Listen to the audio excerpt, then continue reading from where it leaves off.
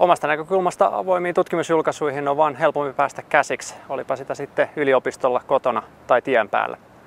Maksumuurin takana oleviin julkaisuihin ei välttämättä enää palaa sitten, kun on takaisin yliopistolla. Toisaalta tutkimustiedon tuottajana mulla on tietysti tärkeää, että julkaisut tavoittaa mahdollisimman laajan kohdeyleisön myös akateemisen maailman ulkopuolella. Lisäksi monet avoimet tutkimussarjat panostaa aktiivisesti myös aineistojen ja menetelmien julkaisemiseen, mikä on pitkässä juoksussa tosi tärkeää tieteen laadun arvioinnissa, mutta myös helpottaa tutkijoiden omaa työtä.